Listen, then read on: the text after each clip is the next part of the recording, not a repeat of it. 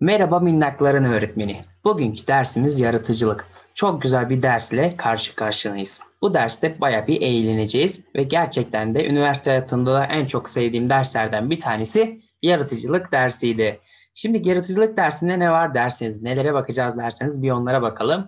Ufacık bir analiz yapalım. Sonra dersimize kaldığımız yerden devam edelim. Şimdi öğretmenim yaratıcılıkta 2016'da toplamda 3 tane soru çıkmış. İyi yaratıcılıkta ilk başlarda çok kolay sorular çıkmaya başlarken son yıllarda giderek soruları zorlaştırmışlar, zorlaştırmışlar. Ve şu dikkatimi çekti hani e, nasıl diyeyim iki tane genelde böyle kolay soru bir tane ise çok çok zor soru geliyor. Ama ve lakin bu videoyu dinledikten sonra o zor soruları bile yapabileceğiz inşallah. Onların da üstesinden geleceğiz. Şimdi geçmiş yılların bir sorularına göz atalım. Sonra dersimize devam edelim. 2016'da öğretmenlerin bir tane yorum sorusu geldi. Aşağıdakilerden hangisi yaratıcılıkla ilgili yanlıştır diye bir soruydu. Ve cevabımızın şeydi zeka düzeyi yüksek bireyler yaratıcılığı da yüksektir diye. Halbuki böyle bir şey yok öğretmenim. Zeka düzeyi yüksek olan birisinin bireyin yaratıcı olmayacak diye bir şart yoktur. Yani cevap bundan dolayı bu şıktı. Ondan sonra ikinci soruda ise öğretmenin yaratıcılık kuramlarıyla alakalı bir soru vardı. Yukarıdaki özellikleri verilen kuram aşağıdakilerden hangisidir tarzında bir soruydu ve insancıl yaklaşım sormuştu. Öğretmenin insancıl yaklaşım yani bir diğer ismiyle humanistik yaklaşım çok çok önemli bir yaklaşımdır. Okul öncesi eğitime girişten karşımıza soru olarak geliyor. Anne baba eğitiminden geliyor. Çocuk ruh sağlığından geliyor. Ondan sonra yaratıcılıktan geliyor. Her taraftan geliyor. Ama ve lakin tek bildiğim bir gerçek var öğretmenlerim. Her yıl insancıl yaklaşımdan kesin bir tane soru geliyor.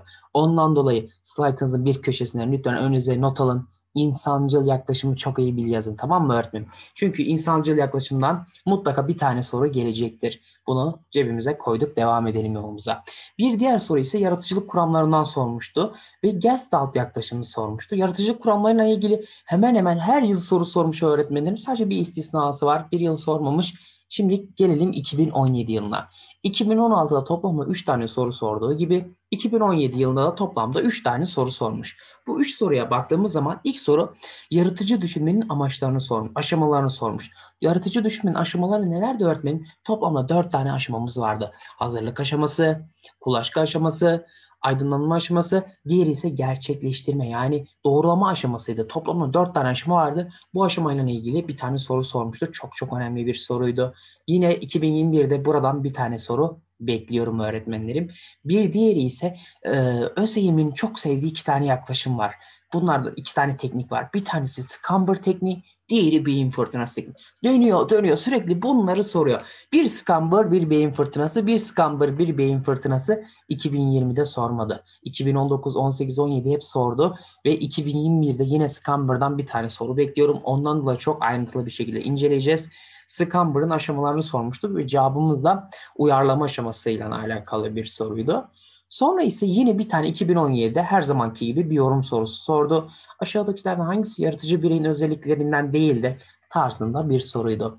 Geldik öğretmenlerim 2018 yılına. 2018 yılında yine yaratıcılığın boyutlarıyla alakalı bir tane soru sordu. Sonra yaratıcı öğretmenin nitelikleri gene bir tane yorum sorusu sordu.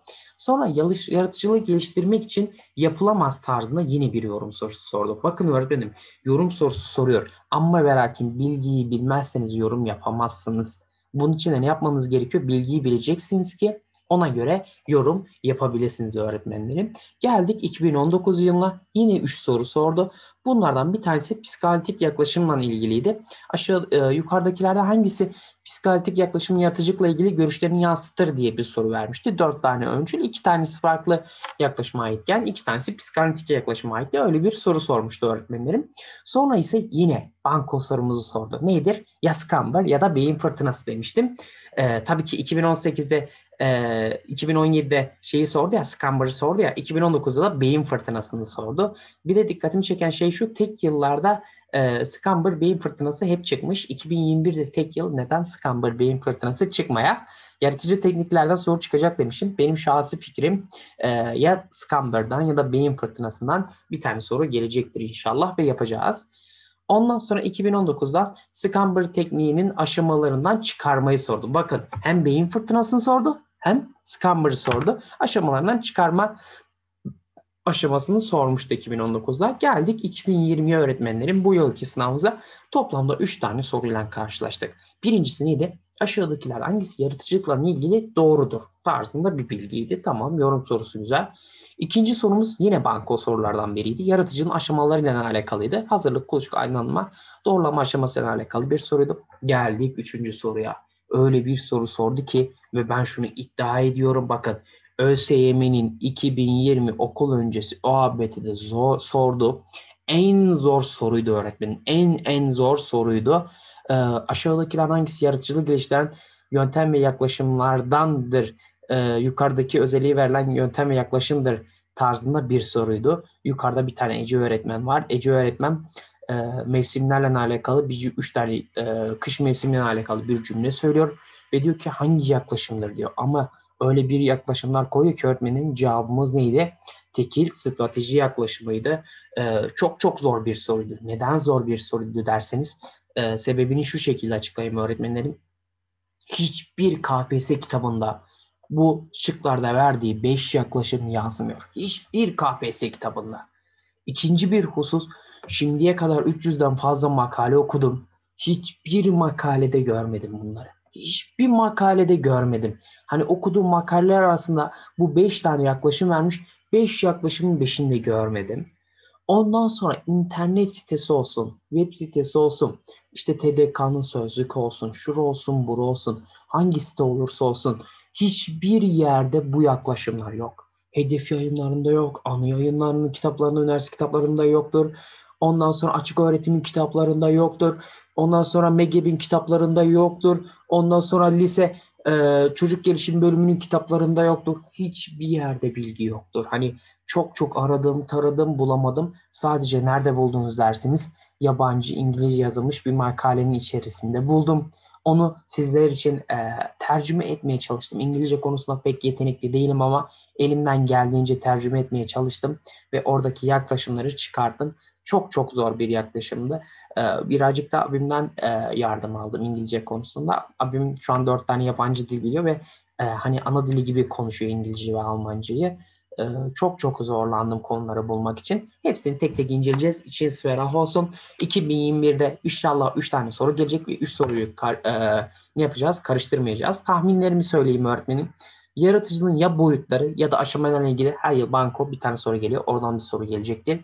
Yaratıcılıkta bir tane yorum sorusu gelecek yine ve bu yaratıcılık süreciyle alakalı bir soru olacak. İşte aşağıdakiler hangisi yaratıcı bireyin özelliklerini yansıtmaz? Aşağıdakiler hangisi yaratıcılıkla ilgili yanlış bilgidir, doğru bilgidir tarzında bir soru bekliyorum. Bir tane mutlaka yorum gelecek.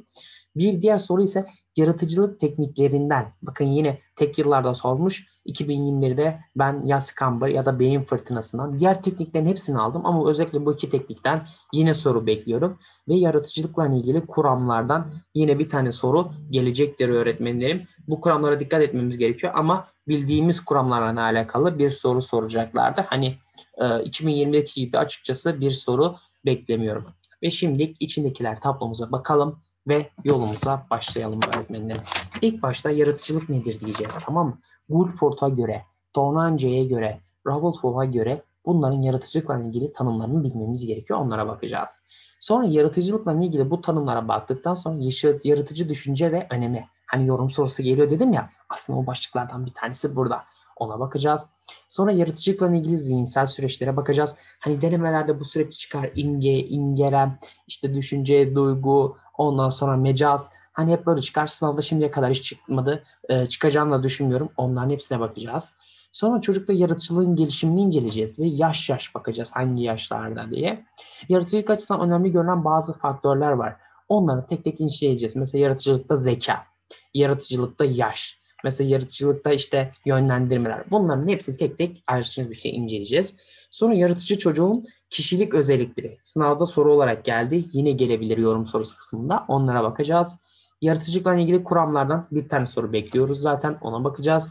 Yaratıcılığın gelişim dönemleri var. Dönemlerine bakacağız. Boyutlarından e, boyutları ve aşamaları zaten her yıl banko soru geliyor. 2021'de bekliyorum. Oraya bakacağız. Yaratıcılığın bileşenleri var. Onlara değineceğiz. Yaratıcılığın desteklenmesine ailenin rolü nedir? Okulun rolü nedir? Öğretmenin rolü nedir? Bunlara bakacağız. Yaratıcılık ve zeka arasındaki ilişkiye bakacağız. Yaratıcılığın süreçlerine bakacağız. Yaratıcılığın engellerine bakacağız. Yaratıcılığı engelleyen faktörler ve bunları kategori kategori inceleyeceğiz. Sınıflandırma yaparak. Çünkü buradan soru gelirse şöyle bir soru gelebilir.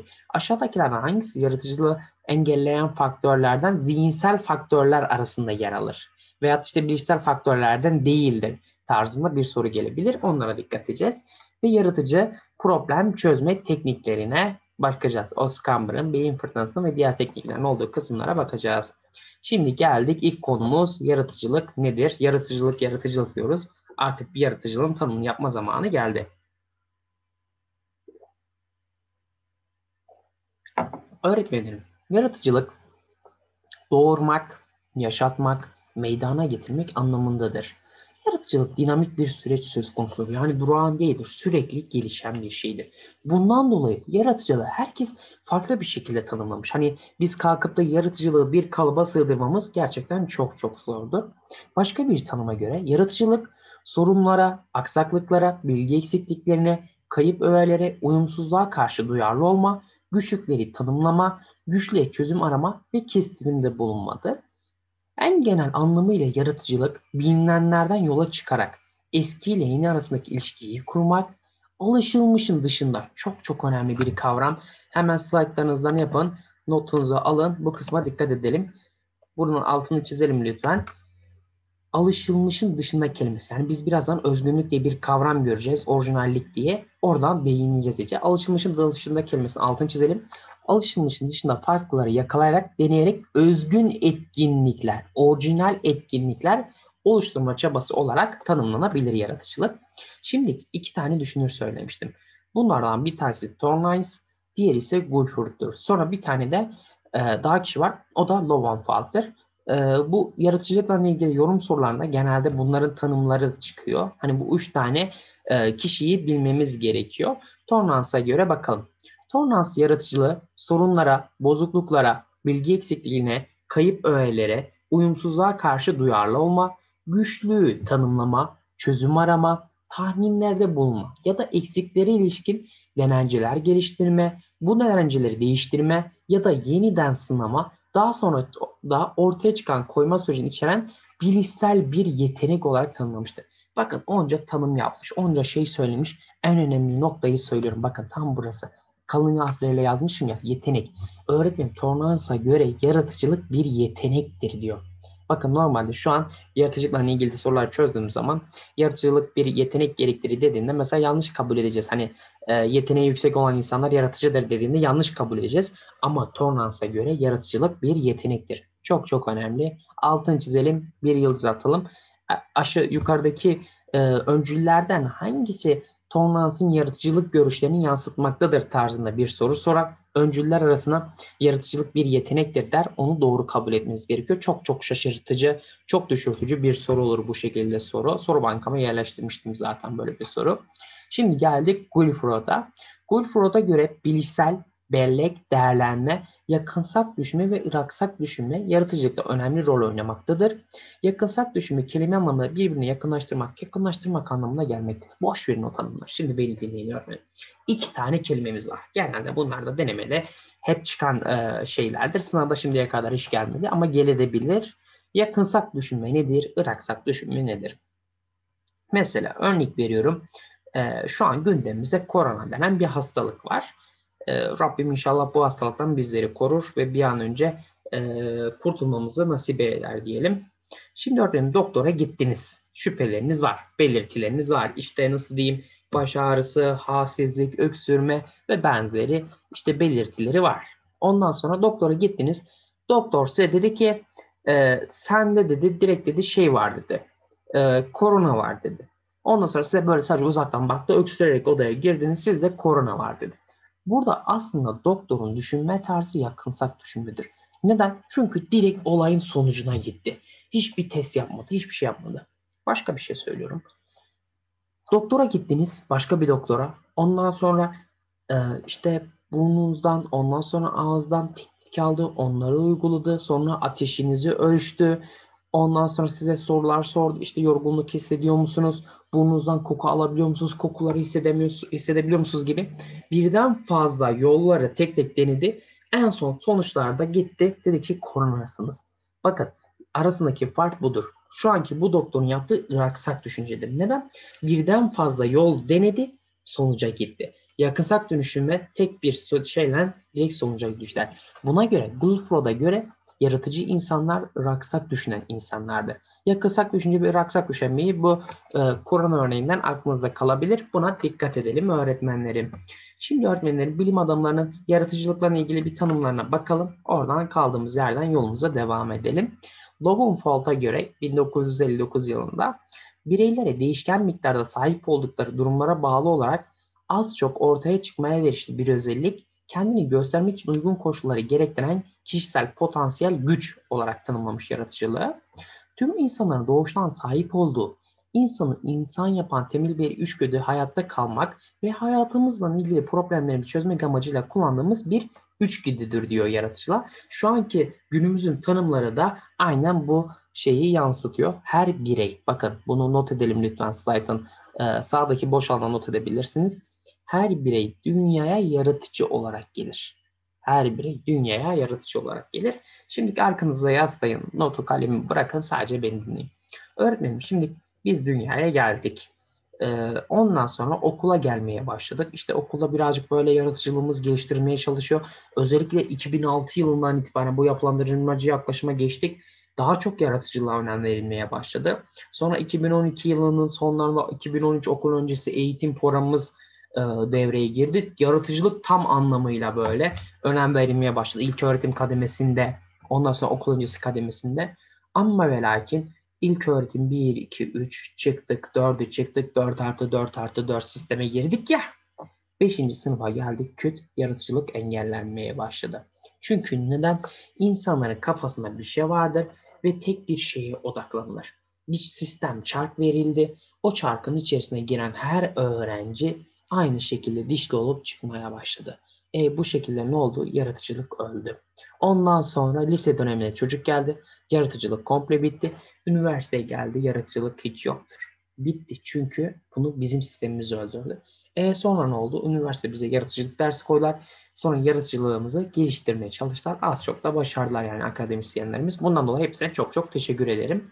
Peki öğretmenim neden böyle bir süreç oldu? Bunun milli eğitim farkına varmadı mı? Tabii ki de vardı.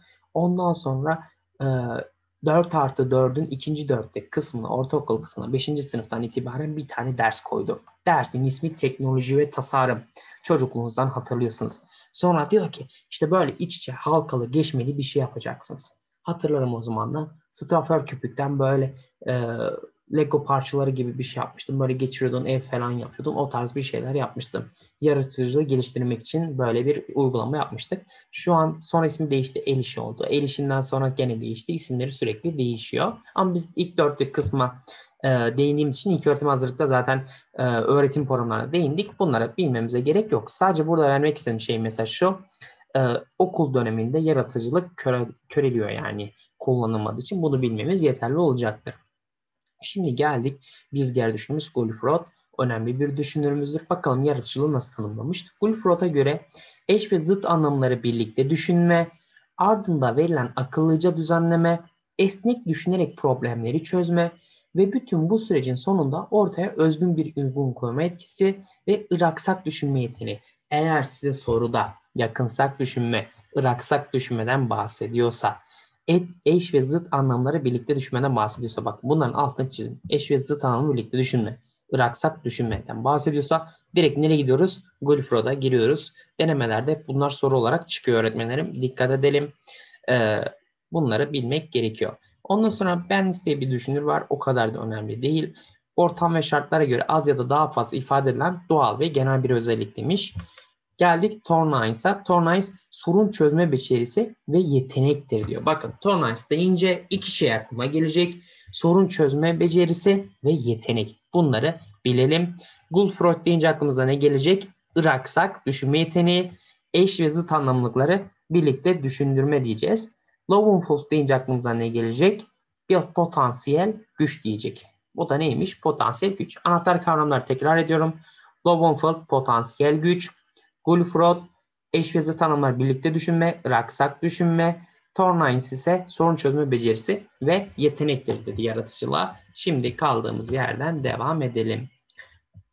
Şimdi örneğin yaratıcı düşünce ve önemine bakalım. Yapılan bilimsel çalışmalarda her insanda bakın altını çizmişim. Her insanda yaratıcı düşüncenin var olduğunu kabul edilmektedir. Yaratıcı düşünce var olduğuna göre insanların geliştirilmesi eğitim kurumlarında ve ailelerin vazgeçmez görevi vazgeçilmez görevi olmalıdır. Çünkü insana seçim yapma ayrıcalığının, düşüncelerini yönlendirme otoritesinin ve fikirlerini ifade etme fırsatının verildiği tek alan bireysel yaratıcılık alanıdır. Makaleden aldığım bir kısım. Her insan, buradaki öğrendiğimiz cümle şu. Her insan yaratıcıymış. Bunu bilmemiz gerekiyor. Her insan yaratıcı olarak dünyaya geliyor ama sonradan köreliyor. Yaratıcı düşünce sosyal hayata uyum sağlamada çok etkilidir. Bakın sos yaratıcı düşünce ne yapıyormuş?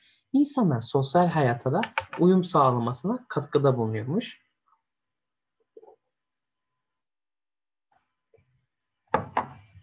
Tüm dünya devamlı olarak kültürel değişmeler, bilgi patlamaları ve nüfus artışıyla karşı karşıyadır ve çok hızlı bir değişim süreci yaşamaktadır. Bugünün dünyası yeni deneyimlere açıktır. Çocukları bütün bu deneyimlere hazırlamak gereklidir. Çocukların ihtiyaçları olan bütün gelişimleri kazandırmak veya onları olacaklara karşı uyarma her zaman mümkün değildir. O halde yapılacak tek çözüm çocukların öğrenmeleri için motive etmek, temel becerileri kazandırmak ve böylece temel bir yapı oluşturmaktır diyor Ömeroğlu. Araştırmalara göre çocukların yaratıcı davranması için üstün yeteneklere ihtiyacı yoktur. Çok çok önemli bir cümleyi aldık. Bunu yorum sorularında kullanacağız. Demek ki neymiş? Araştırmalara göre yaratıcı olmak için üstün yeteneğe ihtiyaç yoktur öğretmenlerim. Yeni fikirler üretebilme becerisi birçok birçok çocukta saklıdır zaten. Anne babalar ve eğitimciler uygun yaklaşımlarda bulunarak çocuğun bu davranışının gelişimini destekleyebilirler. Bloom ve Hunt'un da belirttiği gibi çocuk erken yaşlarda yaşaması gereken deneyimleri yaşamaz ise bu potansiyel ortama çıkar, ortaya çıkarma fırsatını kaçırmış olur. Lowenfold ne diyordu? Bu büyük potansiyel güç diyordu çocukta. Bunun ortaya çıkarmak gerekiyor diyordu. Lowenfold'un düşüncelerini yansıtıyor. Demek ki neymiş? Erken yaşlarda 0-6 kritik dönemde yaratıcılığı ortaya çıkarmak gerekiyor. Bu 18 potansiyel günlük etkinlikler e, günlük etkinlikler evde ve okulda kurulan etkileşimler sonucunda oluşmaktadır.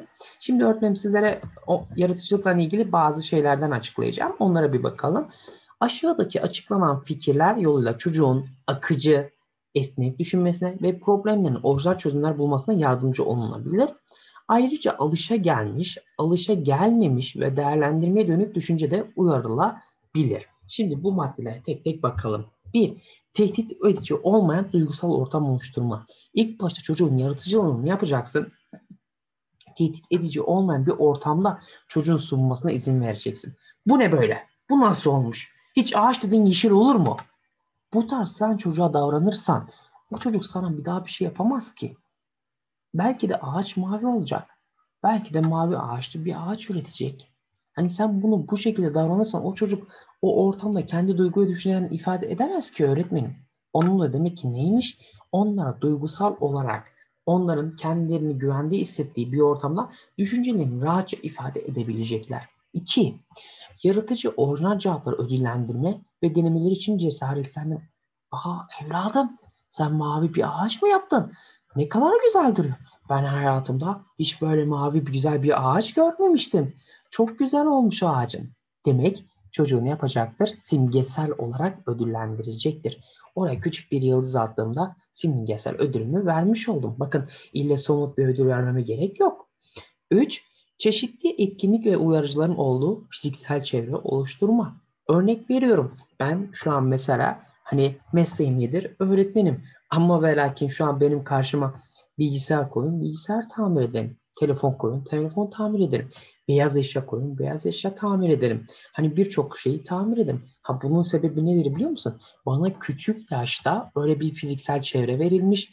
Benim yaptığım davranışlar desteklenmiş. Çok saat bozdum. Çok araba bozdum.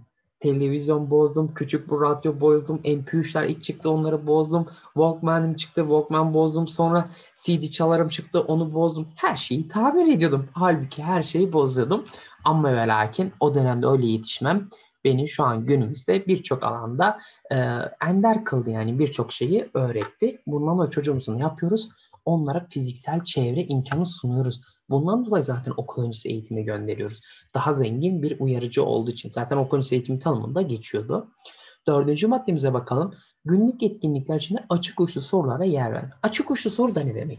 Şimdi öğretmenlerim size bir soru sorduğum zaman siz onu yorumlayarak açıklayabiliyorsanız bu açık uçlu sorudur. Veyahut da şöyle bir soru sordum. Burada kaç tane madde vardır? Cevap 9. Bu kapalı uçlu sorudur. Cevabı tektir. Ee, herkes aynı söyler. Ama açık uçlu sorular cevabı çoktur ve kişiye göre yorumlanabilir. Beşinci maddemize bakalım. Hayal kurma ve düşünme için zaman vermemiz gerekiyor. Her şeyin için olması için neye ihtiyacımız var? Zamana ihtiyacımız var. Altıncı madde orijinal bir oyuncak ve materyal yapımı için çocuklarımızı cesaretlendirmemiz gerekiyor. Onlara biz affedersiniz ama gazı verdiğimiz zaman onların yapamayacağı hiçbir şey yoktur öğretmenim. Ben buna canı gönülden inanıyorum. Çünkü çok çok yaptığım şeylerdir sınıfımda. Çocukların cevaplarını kaydetmemiz gerekiyor. Çünkü çocuklar hani e, bizim gibi düşünceleri kıt insanlar değiller ki. Mesela biz bir şeye baktığımızda tek bir şeye odaklanıp bakıyoruz ama onlar birçok yönden düşünüyorlar ve düşüncelerini çok hızlı bir şekilde ifade etmeye çalışıyorlar. Birden fazla düşünceleri var ve bunları ifade ederken bazen kekemelik yaşayabiliyorlar. Özellikle bu 3 yaşında oluyor. Sebebi nedir kekemeliğin? Hani zaten bunları hani e, çocuk ruh sağlığı dersinde göreceğiz. Hani kekemeliğin sebeplerini. Çocuğun düşüncesinin çok fazla olması ve bunu dile çekmede problem yaşamasından kaynaklanıyor. Yani buradan çocuk ruhsal dersine bir atıf yapalım. Şimdi geri yaratıcılık dersimize dönelim. Bundan dolayı ne yapıyoruz? Çocukların cevabını kaydedersek hani o an anımsayamadığımız şeyi sonradan kaydı dinlediğimiz takdirde tekrardan anımsayabilmemiz için. Sekizinci maddemiz yaratıcı problem çözme uygulamaları yapmamız gerekiyor. Mesela örnek veriyorum yaratıcı problem çözme uygulamalarından bir tanesi Scamber tekniğidir. Tekniklerden değineceğiz zaten. Dokuzuncu maddemiz ise çocukların ürünlerini düzeltirken dikkatli davranmamız gerekiyor. Hani örnek veriyorum biraz önceki o mavi ağaç meselesini verdim ya. Aslında dersin ki bak Aa, çok güzel olmuş evladım ağacın ama sanki ağacın köklerini yapsaydın ağaç su içebilirdi dersen bu çocuğun daha çok dikkatini çekecektir öğretmenlerim. Bugünkü dersimizde anlatacaklarım bu kadar. İkinci dersimizde yaratıcılıkla ilgili zihinsel süreçlere bakacağız. Kendinize iyi bakın. İyi günler dilerim.